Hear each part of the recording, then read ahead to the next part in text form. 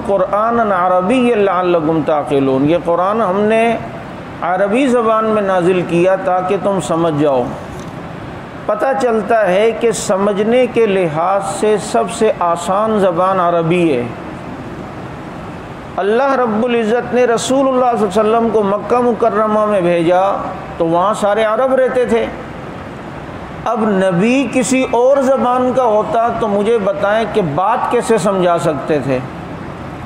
तो इसलिए अरबी ज़बान में नाजिल किया कि अरबी लोगों की ज़रिए से अल्लाह रब्बुल इज़्ज़त ये दीन, ये कुरान, ये इस्लाम अजमियों को भी समझाएँगे और पहुँचाएँगे। और जैसा कि अल्लाह ने इंतज़ाम किया तो आज हम देख रहे हैं। कि अरब से निकल के ये दीन अजम में पहुँचा, आज हर ज़बान वाला इस्लाम को और कुरान को समझ रहा है। चाहे उसने जो है वो अरबी कभी सुनी भी ना हो, लेकिन आज अरबियों की वजह से और इनको ज़रिया बनाते हुए अल्लाह रब्बुल इज़्ज़त ने जो है वो बाकी कौमों तक भी जो है वो ये दीन पहुँचा दिया।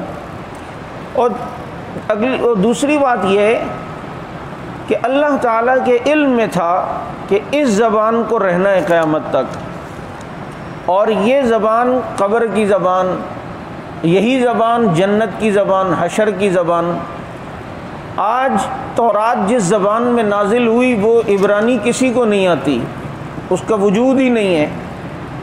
इसी तरह वेद जो है, किस ज़बान में आई किसी को पता ही नहीं है।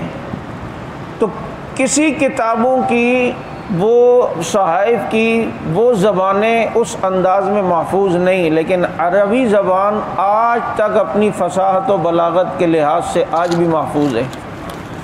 तो फरमाया कि ये क़ुरान करीम हमने अरबी ज़बान में नाजिल किया।